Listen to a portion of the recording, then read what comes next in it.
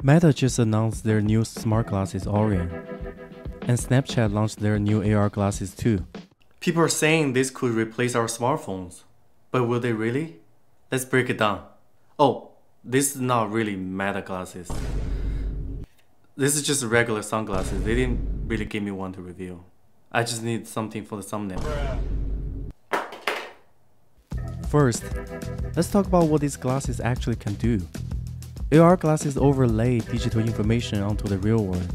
Imagine seeing your text messages floating in front of you, or turn by turn directions appear on the sidewalk. Pretty cool, right? But here's the thing while AR glasses are exciting, they're not quite ready to replace our smartphone to be the primary devices anytime soon. Let's look at the four big reasons why. Our phones are pocket sized supercomputers. They have powerful processors and batteries that last all day. AR glasses not so much.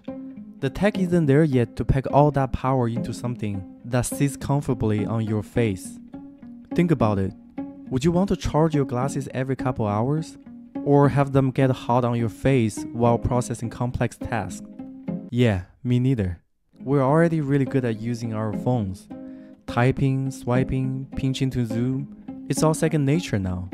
AR glasses rely on voice commands, hand gestures, and sometimes tiny touchpads. This can be clunky and not as precise as we're used to. Plus, do you really want to be talking to your glasses or waving your hands around in public all day? It might look cool in sci fi movies, but in real life, a little awkward, I would say. Here's a big one social norms. Smartphones are accepted everywhere, but glasses with cameras? That's a different story people might feel uncomfortable if they think you're recording them all the time. There are also privacy concerns. How do we control what data these glasses collect about the world around us? It's a complex issue that we're still figuring out. Now, let's talk about something as end consumers we often overlook manufacturing and supply chains. Giant smartphone companies like Apple and Samsung have spent years perfecting their smartphone production. They've got it down to science. Think of it like this smartphone makers are like master chefs with well stocked kitchens. They know exactly where to get their ingredients and how to cook them into millions of identical affordable meals.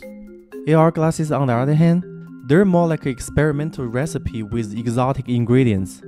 Sure, company can make a few really cool prototype, kind of like how car companies create futuristic concept cars, but mass producing them affordably that's a whole different game and challenge. The screens, sensors, and specialized materials in AR glasses are still new and are all very expensive. It will take years for the industry to figure out how to produce these at scale and bring costs down.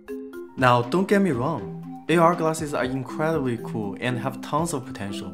They will be great for specific use like navigation, hands free work, or enhancing live events. But completely replacing our smartphones? That's a long shot, at least for now. The reality is, we'll probably see a hybrid future. AR glasses will create a new vertical category to complete our phones, not replace them entirely. Kind of like how smartwatches work with our phones now. What do you think about these new AR glasses and their future? Please leave your comments down below. Thanks for watching and don't forget to like and subscribe and I'll see you in the next video.